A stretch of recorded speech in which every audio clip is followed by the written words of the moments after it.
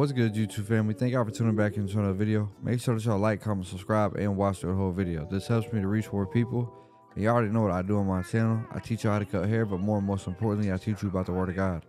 To get into the haircut before I pick up any clipper or trimmer, I want to go ahead and I want to comb the hair in the direction that the client brushes his hair. And the reason I'm going to comb and not brush is because brushing lays the hair flat and combing is going to lift the hair up off the scalp, which is going to allow me to get the most even cut possible. And while I'm combing, I'm looking for any imperfections in the head. Say, I'm trying to figure out how his crown's looking. I'm trying to figure out if he has anything on his head, like a mole or anything. And also, if he has any cowlicks, anything like that. I'm looking for all that when I'm prepping the hair.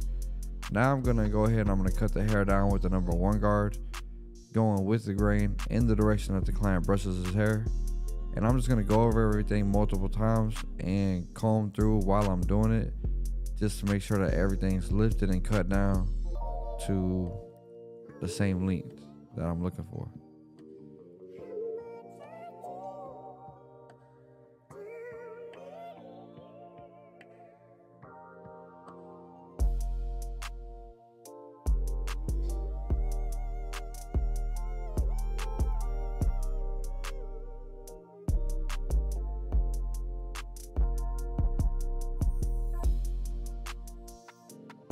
Man, y'all can see my boy does not obviously have the best hairline. He doesn't have the worst, but he doesn't have the best. But I'm gonna still get them together and I'm gonna show y'all how to approach a client who has a similar hairline.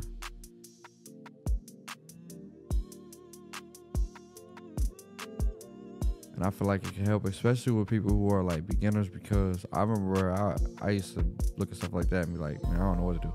But for the back, y'all, we're doing a high taper uh, on the sides. For the back, when I do tapers, I pretty much like to set it in straight across in the back. I just like a nice clean taper. So go ahead and ball that after that. On the sides, I'm gonna go ahead and I'm gonna ball it out from the bottom of the vertical bar to the top of his ear. Then I'm gonna go ahead and I'm gonna clear the whole area because I know he just likes to have a goatee. So while I have my clippers in my hand, I'm gonna become a more efficient barber with my time by go ahead and clearing that area out all at once. Doing the same thing on the other side, making sure that they match up so I can give a even haircut on both sides.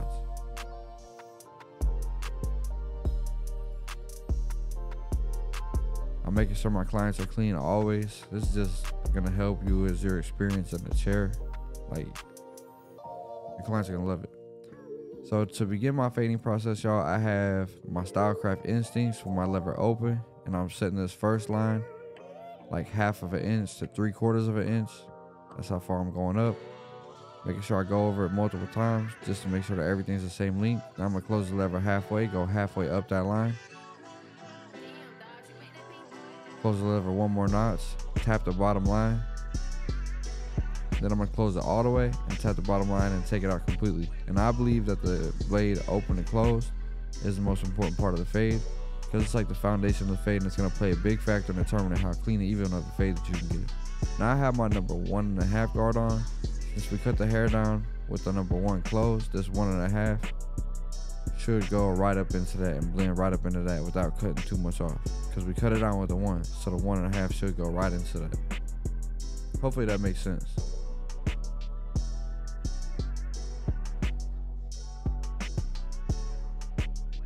Like this really isn't cutting too much. I'm just making sure that everything's more even, if you want to say that. For the next part of my fade, I have Stylecraft Instincts with a master blade on it, and I'm using a zero guard. So I have the lever all the way open, and I'm going right up under where we left off with that one and a half closed. Then I'm gonna close the lever halfway, come down on the fade a little bit, and then close the lever all the way, and tap that bottom line. I know it's not going to take it out completely, but it's going to soften it up very well for me to be able to come in and do some detail work and take it out.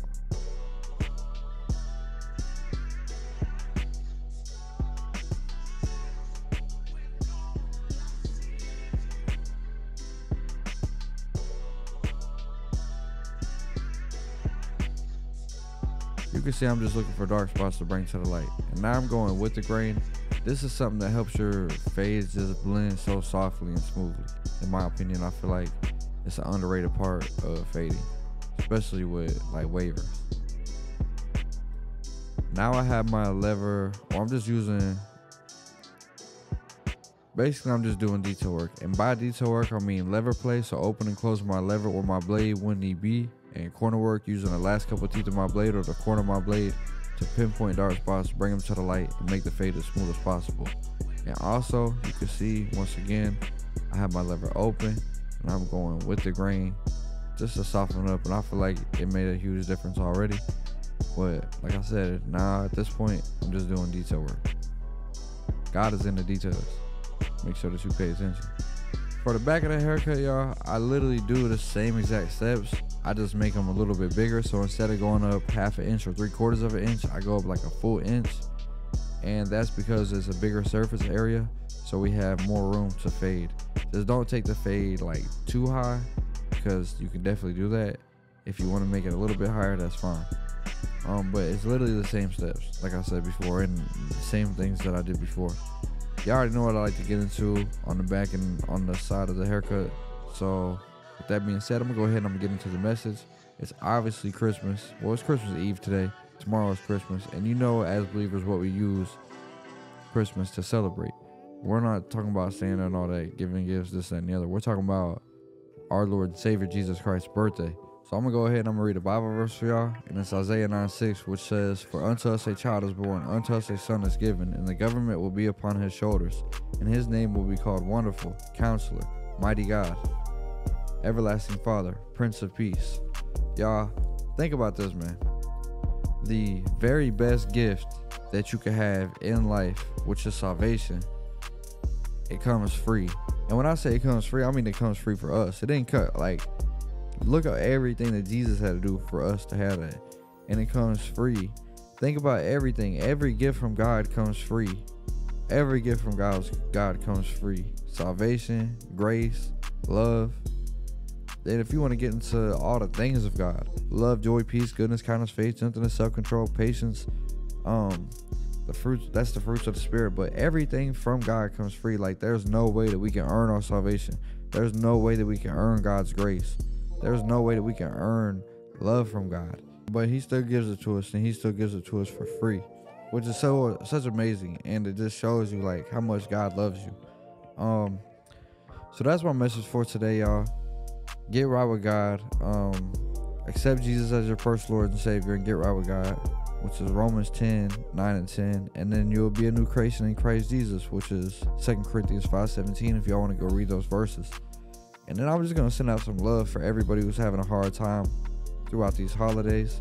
Just remember this God loves you, I love you, and um, yeah, I know that it could be hard, but just know this that the Bible says God's strength is made perfect in our weakness. So when we are weak, He is strong.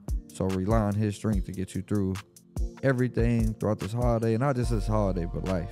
Because one thing for sure, God is faithful and he'll never leave you or forsake you. So make sure to rely on him at all times, no matter what. The the, the hard times and the good times. Always we should always rely on God. We should always look to God uh, for everything. So man, and just what a beautiful, wonderful, the best gift ever, the greatest gift ever by God giving us his one and only begotten son, Jesus Christ, to save us. So thank you, God.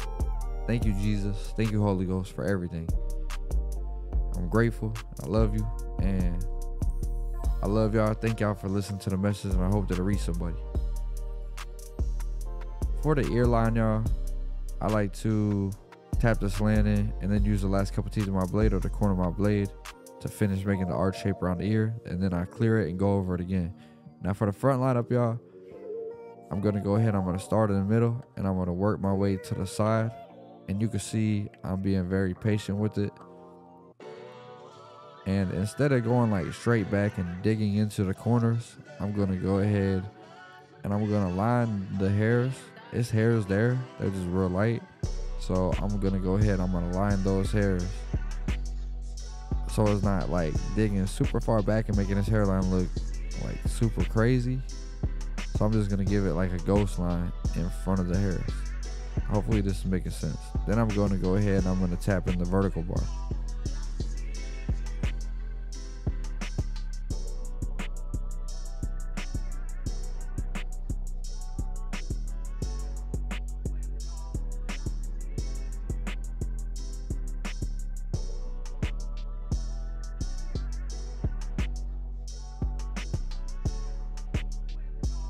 Then I go ahead and clear the hair off the forehead because there's always little hairs on the forehead and it just makes the cut look cleaner if you do that. So now I'm gonna match the other side to it and honestly his some people's lineup's just not perfect so you can't necessarily match it perfect on both sides because if you do you gotta push one side not the other but go ahead and put it as close as possible that you can get. Now I'm going to enhance his lineup because he likes enhancements. This just gives the haircut an extra pop. Like it'll be clean without it, but it just gives it extra pop. And I use Kiss Express. And um I'm just putting a light amount. I'm not spraying too much. I'm just putting a light amount so that when I come with my fibers, this liquid part, it kind of like grips the fibers to where it's gonna last three to five days. If taken care of properly, it can last even more.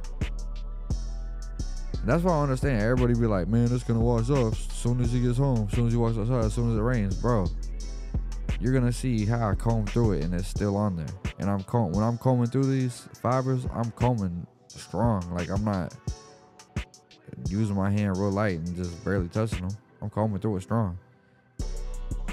So fibers don't like enhancements if applied properly. Like I don't know what y'all barbers be doing, but if enhancements are pro- applied properly, then they're gonna last. And that's what maybe I don't know. Maybe you should pay for a premium barber uh, that really takes his time and loves his craft and has perfected it, and you will understand. But you can see I'm gonna go ahead. I'm gonna comb through these enhancements just to make sure. I use the small, big side of the comb and a small side of the comb,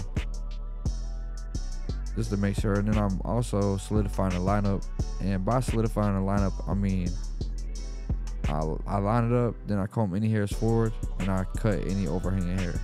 Make sure that when you do line your fibers up, because you always need to go back and line them up after you apply hand enhancements and apply fibers. Make sure that when you do that, you um, line them up in the line you already have. Don't push the line up back. Just trying to line the fibers up clean. Just put them where you already have the line.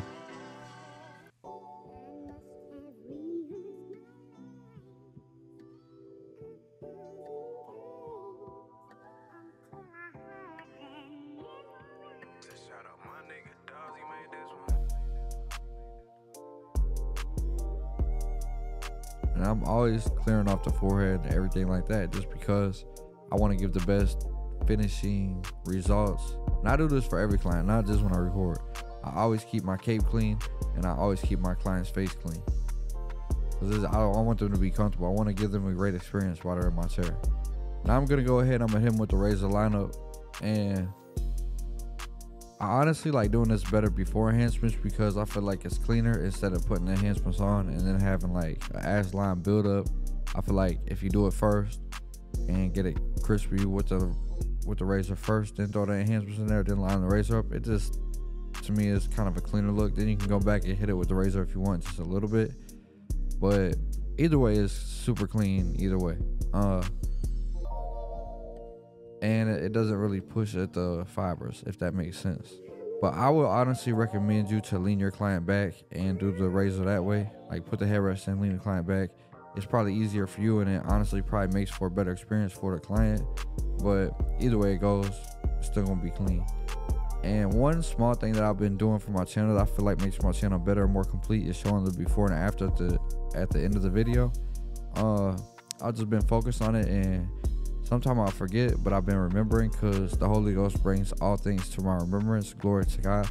With that being said, here goes the before and here's the after. Let me know what y'all think about this cut in the comment section. I think it turned out fire. The taper and the line are both super clean.